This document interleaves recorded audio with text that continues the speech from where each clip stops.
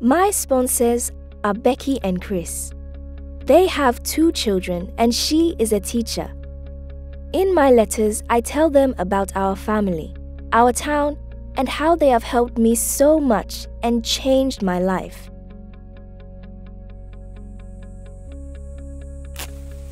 I am Marie.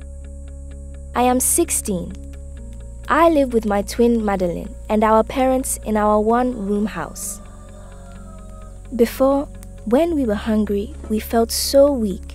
My stomach hurt. Sometimes we didn't have money to buy sufficient food. My sister and I didn't eat enough, and often our mother did not eat at all.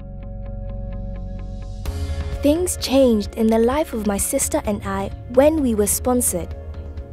It was my sponsor family who supported me to attend a compassion project at our local church. On our first day at the project, I was so excited. It was a great day. The family was in a very precarious situation when we enrolled the twins. They barely had two meals a day. It is my vision that within 10 years, we will no longer see vulnerable children in our community. On project days, each child has two balanced meals. Doctors check the health of every child annually. We teach the children to be responsible, to know Jesus, and to serve their community.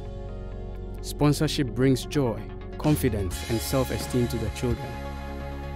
It helps the child to feel loved. Before, we were struggling. I'd worry. How could father pay our school fees? How could I get an education? What was my future? Today, Marie is healthy, enjoying friendships, and excelling in class.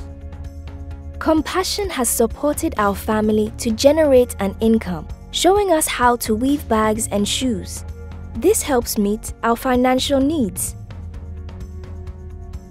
Words can't describe my joy on the day the girls were enrolled at the program.